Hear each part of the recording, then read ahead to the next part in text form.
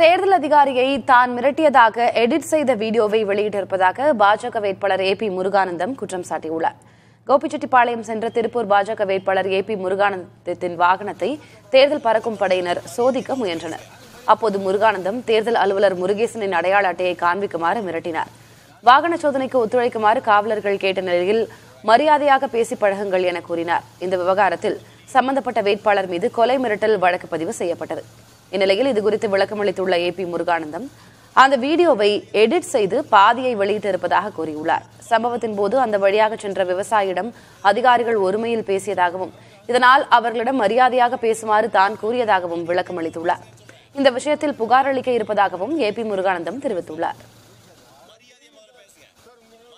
ஒரு விவசாயி ஒருத்தர் நின்றுருக்காரு இன்னொருத்தர் தொழில் சார்ந்து இருக்க ஒரு நபர் இருக்கிறாரு. அவரை போய் ஒருமையில் பேசி கொண்டு இருக்கின்றார்கள் அதை பார்த்துட்டு கடந்த நாள் நிச்சயமாக போக முடியாது. நிச்சயமாக சொல்கிறேன் நீங்கள் எதை வேணாலும் பண்ணுங்கள் வந்து மரியாதையோடு மக்களை நடத்த வேண்டும். அத்தனை பேர்த்தையும் ம- மற்றவர்களிடம் நீங்கள் எப்படி மரியாதை எதிர்பார்க்கின்றீர்களோ அதே மாதிரி தான் நீங்கள் மற்றவர்களுக்கு கொடுக்க வேண்டும் மரியாதை. ஒருமையிலே பேசணுங்கிற அவசியமே இல்லை.